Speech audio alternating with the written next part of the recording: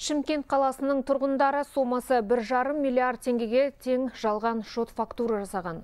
Заң бұзушылықты жергілікті қаржы мониторингі департаментінің мамандары анықтады. Сот шешімі бойынша үш азамат осы қылмыс бойынша кінәлі деп танылды. Олар екі жылға бас бостандығынан айырылды. Енді бұл азаматтарға жеті жыл бойы қаржы қызметімен айналысуға тыйым салынған.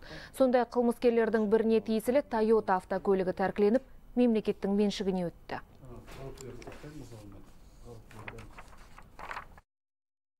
Жалпы сомасы бір жарым миллиард теңгені құрайтын жалған шот фактура жазумен айналысқан азаматтар Ажыбаевқа, Ақыновқа және Ақынға қатысты қылмыстық іс өндіріспен аяқталып сотқа жолданған.